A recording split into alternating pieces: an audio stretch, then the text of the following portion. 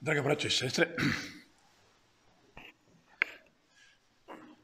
često se susrećemo s e, terminom ili poukom, savjetom, kako treba samo moliti i Bog će nas sigurno uslišati. Sad zamislite ovu situaciju. Jedna djevojka moli zato da Marko bude njezin muž, a Marko moli da mu Bog da, da on ode u svećenike. Koga će sad Bog uslišati? Ili recimo Daniela, evo, Daniela moli da Marko bude njezin muž, a Marko bude da, moli da njegova bude Josipa, a Josipa moli da bude njezin Petar, a Petar moli da bude Karla, a Karla Antonio i tako dalje. Koga će Bog? A svi moli revno, devetnice, piče, sveto, manti, koga god dođe. I svakome govori, a svakome od njih njezina prijateljica, prijatelj govori, samo moli, Bog će ti sigurno dati. Ja sam molila ovu, on. Šta će Bog napraviti? Šta će Bog napraviti? Ma jasno nam je, neće to uslišati, neće. Neće. Imam jako puno molitava za koje sam žestoko molio, Bog samo odmahnuo rukom. Možeš moliti koliko hoćeš, nema ti od toga ništa. Je li imate vi takvo iskustvo? Jedva da imamo iskustvo uslišanih molitava, to je čudo ako imamo iskustvo uslišanih molitava. Koliko se puta molili za Hrvatsku, za vladu, za političare, za svećenika, za župnika, za profesora, za tatu, za mamu. Jedva da je išta bolje. Kako to objasniti? Koliko molimo za političare, neću sad predizborna, je li sad nekakva kampanja, neću ništa govoriti, ali ne vidim da je baš to nešto napredovalo. Šta to znači? Je li onda bilo pogrešno moliti? Ma nije bilo pogrešno moliti za to, nije bilo pogrešno moliti. A šta to znači onda? Šta to onda znači? Koliki su pobožni ljudi molili za kišu u vrijeme gladnih godina, za kišu. I ono, suša do kraja. Kako to? Dogodi se da uđe neki sveti čovjek, pa dogodi se neko čudo i tako dalje. Dakle, uistinu postoji neko, neko pogrešno svačanje, pa rekao bih i nekim uglednim sredinama i krugovima pogrešno svačanje da je Bog posljedica koja se može uzrokovati. Da je Bog pojava, fenomen, da je Božja volja fenomen i pojava koju mi možemo biti uzrok. Ako bi mi mogli biti uzrok Božjeg ponašanja, uzrokovati ovaj, Božju volju, onda bi Bog bio manji od nas. Dakle, to je krivo. Ne možemo. Međutim, međutim dakle, bez daljnjega, je, bez daljnjega ipak jasno je da treba moliti za sve ali ipak, dakle, vidimo kako se to ne događa. Nekako sam to počeo primjećivati još davno, davno prije, kad sam bio još dijete, moji su pričali kako su silno puno molili i da moj strić je nestao u, ovaj, za vrijeme drugog svjetskog rata. Nikad se nije znalo gdje je. Nije bio ni jednoj vojsci, postali su nekakvi ti takozvani škripari, koji su se skrivali, nisu htjeli ni u jednu vojsku gdje je puno braća i sestara otišlo u rat, jedan bi ostao. I ovaj, oni su do kraja rata pokušavali izbjeći to. Jedan od njih mojih striceva je bio u tim škriparima. I kad je došlo te nekakvi nadirali te neke vojske, bježao je i nestao. Nije se vratio. Nije se vratio. Jedna moja teta, njegova sestra, ja mislim da je izmolila milijun krunica da se on vrati. I plakala, i postila, i klečala, i hodočastila. Nema što nije. Ali nikad se nije vratio. Tako bilo drugom, tako, tako bilo domovinskom ratu, tako bilo bezbroj slučajeva. Dakle, ovdje moramo raskrinkati u startu jednu stvar. U našim molitvama. Naš, dakle, naš pogled na trpljenja, na križeve se mora promijeniti. Jer to nije prokletstvo. Naš, dakle, i naš ideal da se dogodi život, da izmolivo život bez križeva je prevara. Zapamti što kažem. Ideja Da se tebi dogodi život bez križeva je prevara, to je podvala. To je neprijateljski program ubačen u Božji program. Ideja da ti ne trpiš i ne doživljavaš neprijateljstva, nevjerstva, bolesti, strahove, kataklizme, potrese, korone. Evo, nema ko nije molio za koronu. Nema ni jedan čovjek na svijetu ko nije molio da korona ne prestane. Jer, ma nema. Barem katolika se tiče. Sigurno su među njima i najsvati, a gle sada, još žešća. Ovdje u nas, pa udari po biskupima, udari po časnama, pa koji moli časne, brate, mole. Dakle, i tu nam Bog govori, ideja, brate moj, ideja da ti, da ti, da ti prođe život bez križa, jedna velika prevara. I ako to prihvatiš, ako se oko toga, ako, oko toga gradiš svoj život, ako oko toga gradiš svoje čežnje, svoje molitve, svoje snove, promašit ćeš bitke, promašit ćeš bitno, promašit ćeš smisao. Dakle, ja ipak ponavljam, treba moliti i za zdravlje i da nitko nikada ne oboli od raka, da nikada se nitko ne sudari u nekom problemu, da nikada nitko ne padne ispit, da nikada nitko ne dođe, treba to moliti, da nikada, nikada, nikada nitko ne, ne ostane bez posla. Ali kada vidimo, kada vidimo kako, kada vidimo kako kršćanin se onako, kako se kaže, prizemlji, prizemlji se u svojim čežnjama, idealima i traži samo prizemno, onda mi dođe da molim da bih Bog ne usliša. Kad čujem kako moli, sjećam se jedne situacije kad sam ja, blagostiljivao kuće i da jedna baka priča, ja, hoće nagnati da počne moliti da dođe u raj, da se pripravi, a ona stala moliti za zdravlje, njoj, njezinoj čerki, unuci, samo zdravlje. Izađem ja iz kuće i kažem, Bože, ne daj joj to. Ona moli za zdravlje. Dakle, kad vidimo kako čovjek zna, dakle, Bogu se to ne sviđa. Dakle, naš živ, dakle, mladi smo ljudi i mislimo, mladi ste ljudi i mislite, vi mislite, da je došlo vrijeme, napokon, evo ove, koja je to sta generacija, aj brzo sračunemo jedno, jedno, 80. generacija od Krista, 70. Jel, ko brzo računa puta. Ako 70. 80. generacija od Krista, napokon je došlo u vrijeme da više neće biti ratova, da neće biti bolesti, da su kuge i kolere prošle, potresi. Valjda sad ja, mlada djevojka i mladi čovjek, mladić imam pravo. Valjda se ispucalo to zlo, valjda će sad doći neko dobro. Slutim ja. Da, više neće biti. Ne, slutim ja, evo neko po toj svojoj ne, nepogriješivoj intuiciji da je došlo vrijeme blagostanja. Sad će se narodi zagrliti. Evo još malo ćemo moliti. Sad ćemo se mi razumjeti. Ma ono je bilo nešto. A vidjet ćete sada. Sad ćemo se razumjeti mi muslimani, mi protestanti. Sad će ekumenizam, međunarodski dijalog. Vidjet ćeš ti, ja ću to, mi ćemo to. Mi smo generacija koja obećava. Jel vi tako mislite? Ma jel da da jeste? Tako sam ja mislio, svi tako misle. To je tipična jedna te ista fora koju nam zli prodaje na početku, dakle, naših tih. A tamo ide malo dalje. Topovi grme. Gube se životi. Boj se bije. Krvavi za tvoje spasenje. Tamo ne ide Isus krvlije. Neki mučenici i dalje svaku vrstu muke podnosi. Teški se boj bije. I danas, i sutra, i za sto godina, i za sto tisuća godina koliko bude ovaj teški se boj bije za elementarne stvari. Da čovječe dušu spasiš. O ti mladi koji misli da nisi još i to sagriješio. Teški se boj bije. Ne bi li dušu spasio? I zapravo, nekako laički gledano, nema šanse.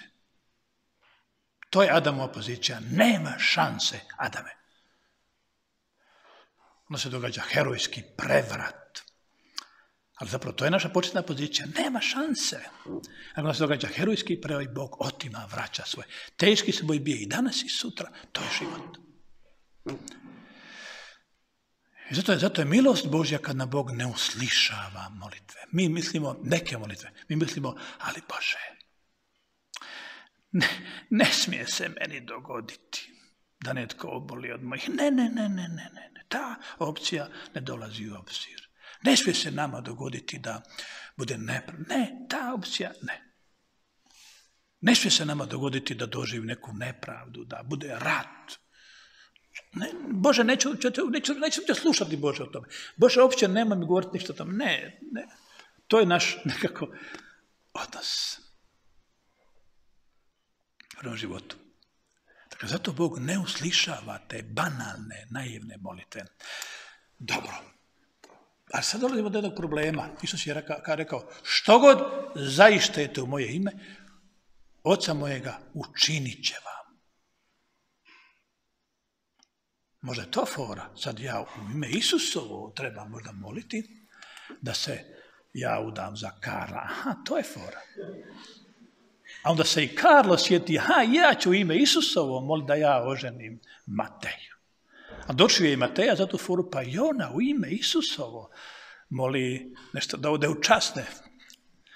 Znači, ni to ne ide. Dobro, šta znači moliti u ime Isusovo? Mora to, mora to pitanje. To je pitanje. Što znači moliti u ime Isusovo? Morate li vi doći ovdje reći Patru Sebastijanu, rekao mi je Ike da ti nama dadneš gajbu piva. U ime Patra Iketa te ja molim. Aj probajte. Probajte to napraviti. Ili da je posudiš auto, kombi. Sebo će me pitati, Ike, ti rekao to? Ja ću reći nisam i problem. No, postoji slučaj da su stvarno neki ovdje došli rekli Juraku, još Juraku u, u, u, ime Patra Iketa, daj nam kombi. I Joža je dao. Zašto je dao? Kako to da je dao? Jer je provjerio, jer ja jesam rekao to. Na primjer. To bio je registriran, tad kad su pitali, sad nije bio nedavno. Ovaj, dakle, što znači moliti u ime Isusovo? To znači, to znači dopustiti da ti duh Boži nadahne. Što treba moliti? Znači, moliti Boga u ime Sovu ne znači moli što god ja hoću. Ne. Nego to znači da bi čovjek molio, da bi mogao moliti, mora najprije znati što doista treba. Mora najprije se probiti do čežnje. Mora dopustiti da, ga se, da se duh Boži razvije u njegovu dušu. Zato je, mi često u molitvi skočimo u molitvu. To isto uskočiš u trgovinu, pa uskočiš, ovo ću, ovo ću. Dođeš kući, nisi kupio glavno.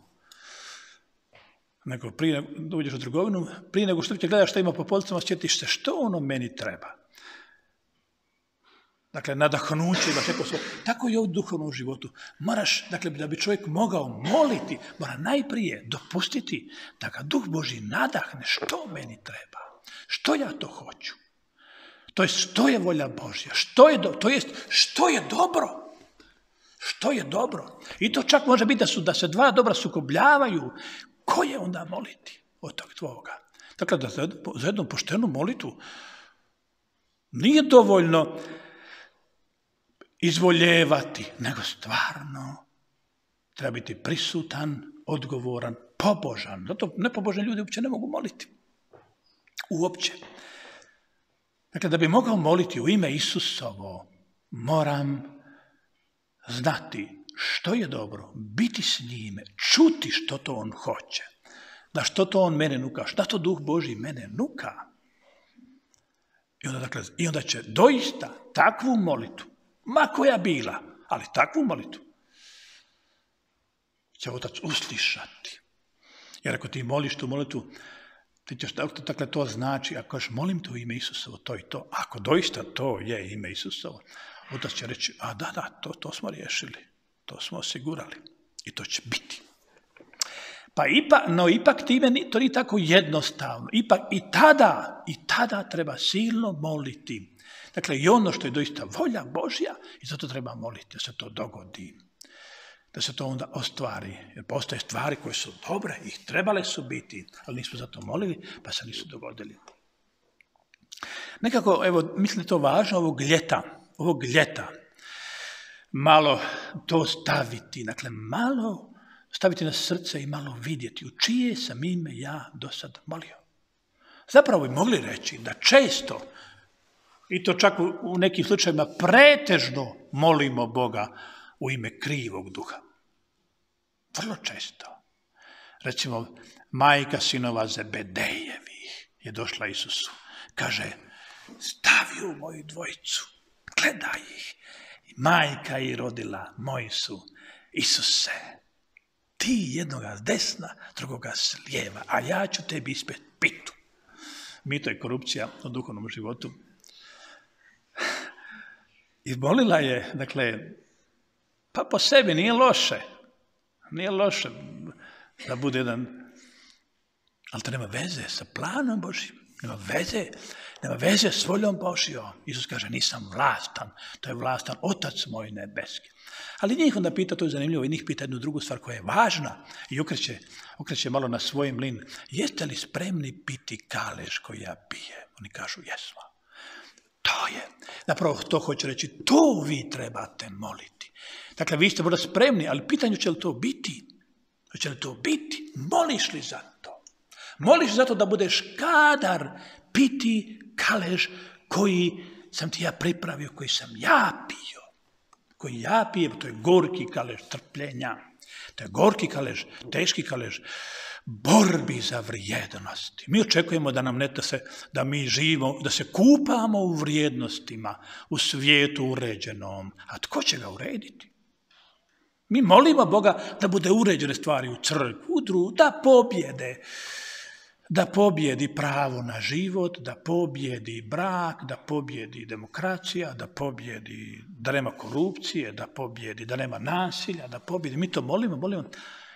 Zapravo to sebično molimo, zapravo, zapravo hoćemo, evo, to je sebična jedna nagovaranje Boga, Bože, daj meni jednu romansu. Ovi su se namučili, ali daj sad meni romansu, daj sad da ja biram. A Bog pita, a ko će piti kalež koji ja pim? Tko će se izboriti za takvo društvo? Tko će se izboriti za, izboriti za te vrijednosti?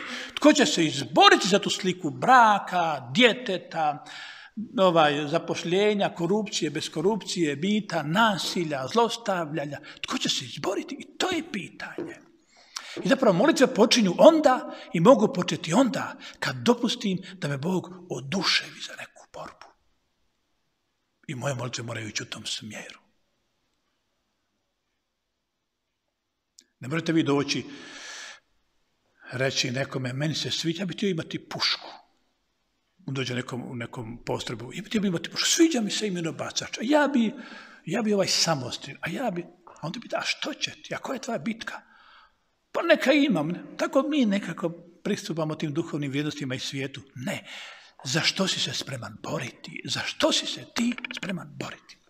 Ako pronađeš za što si se spreman boriti, ako pronađeš za koji si se kalež koji si kale spreman piti, onda, si, onda tvoj život počinje. Onda počinje ostvarenje smisla tvog života.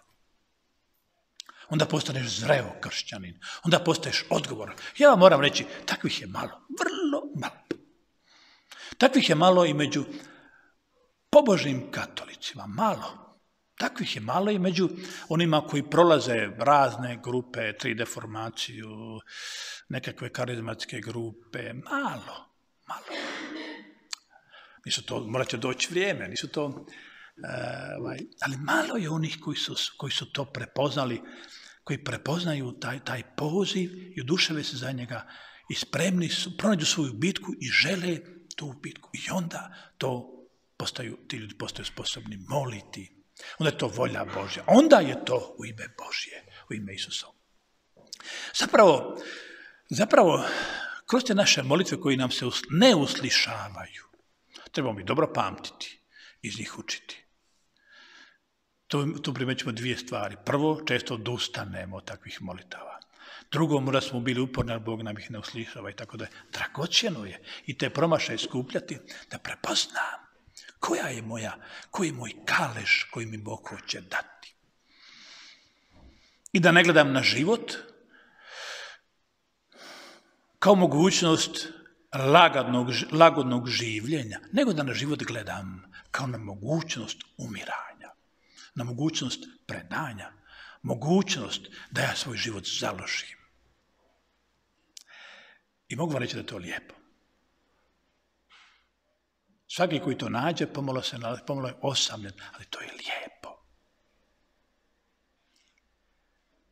Evo ga, ljeto je pred vama i to nije vrijeme za gubljenje vremena, to nije period koji se u kojem se vrijeme gubi, nego je to vrijeme kad se čovjek, kad čovjek nalazi Boga.